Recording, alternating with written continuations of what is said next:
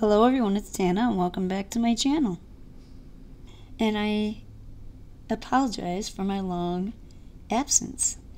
So today's video is from the latest release. We have Meaningful Meerkat stamp set. And then we have I Really Dig You.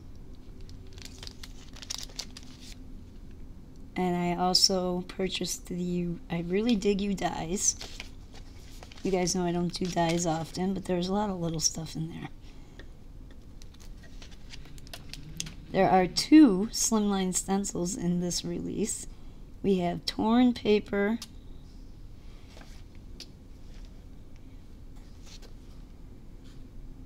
and beam of light. Now I don't use those in today's video, but I will use them in the next video. So I was sick I have a swollen leg from cellulitis. I was in the hospital. I'm still recuperating. I have a physical therapist that comes to the house twice a week.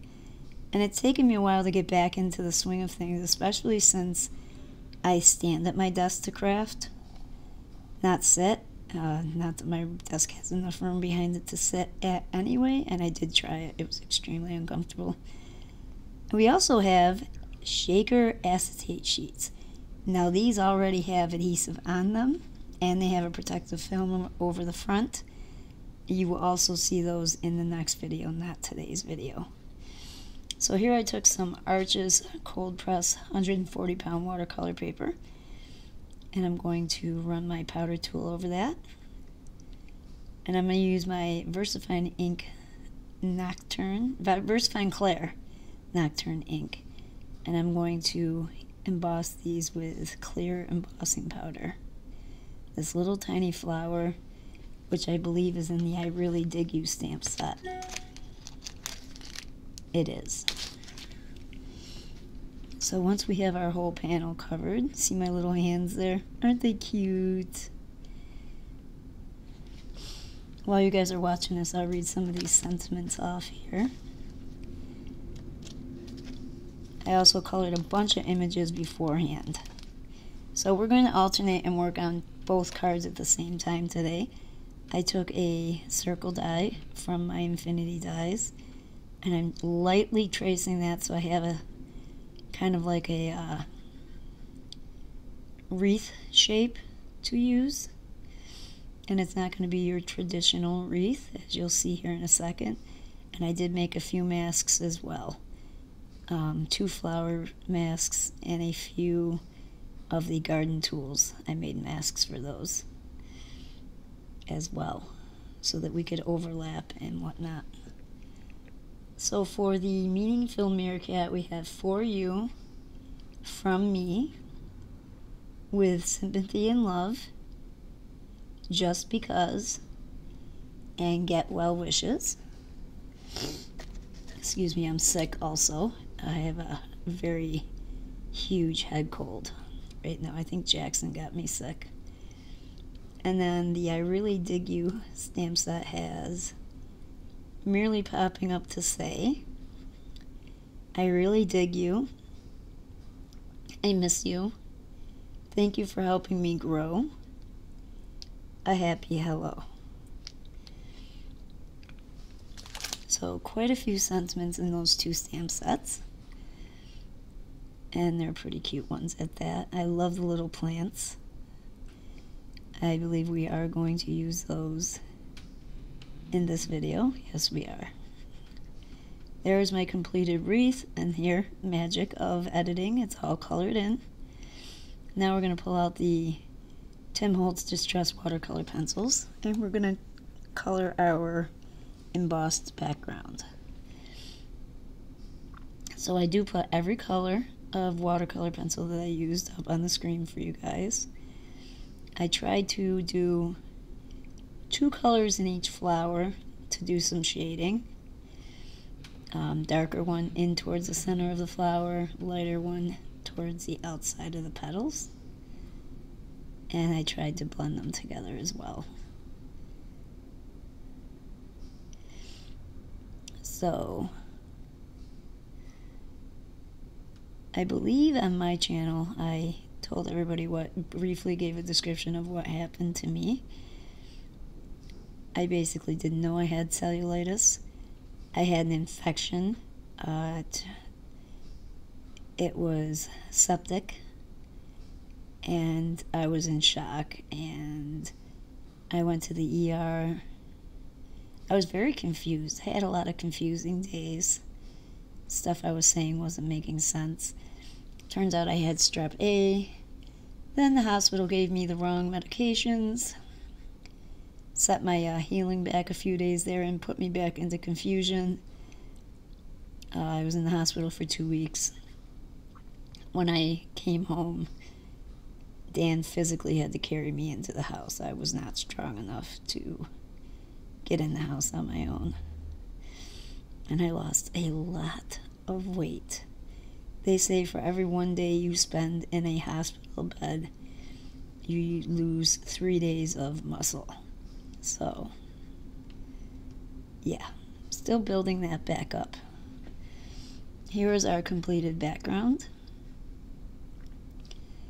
And then I went ahead and took some of those same colors and added some flecks of each color onto my background. I don't know if I overdid it or not. You guys can let me know in the comments what you think.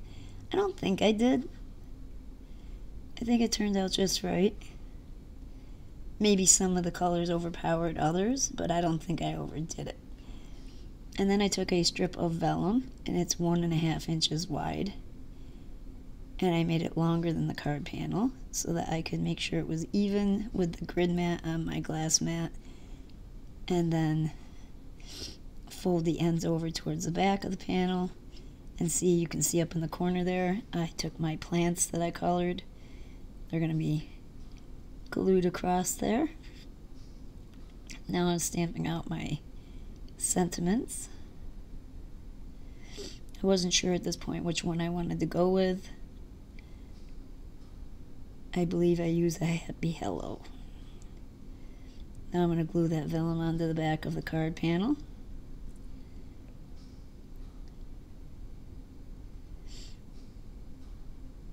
And once that's dry, we're going to use our Nuvo Deluxe adhesive, which I finally found and bought some. I had to buy the bigger bottle though. Little bottle's still sold out. Put that on my gray card base. And now after that's dried and adhered, we're going to add our plants. Now they're each popped up on foam tape.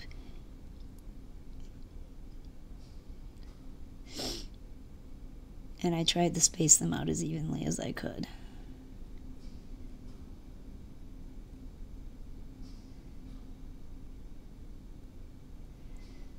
So that's it for that first card. After I adhere the sentiment, which is just glued down straight underneath that vellum strip.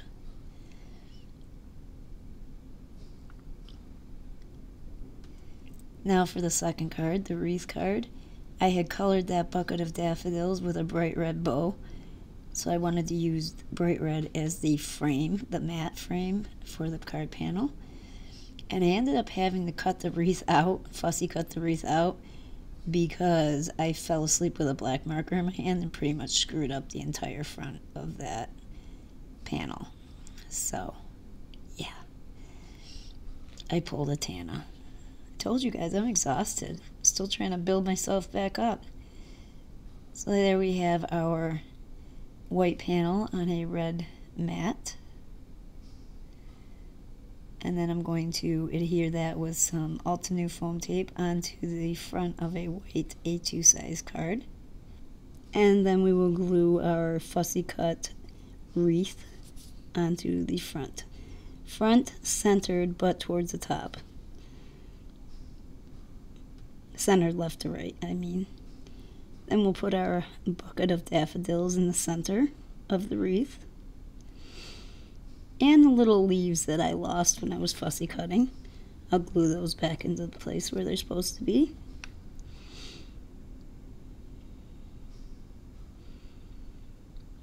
And then I'll use the other sentiment on this card.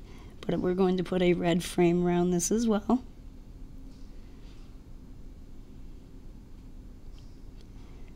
Now I cut all the red off of the end there because when it hangs off the white on the right side of the card panel, it will look like it already has red along that side. So you'll see what I mean in a second.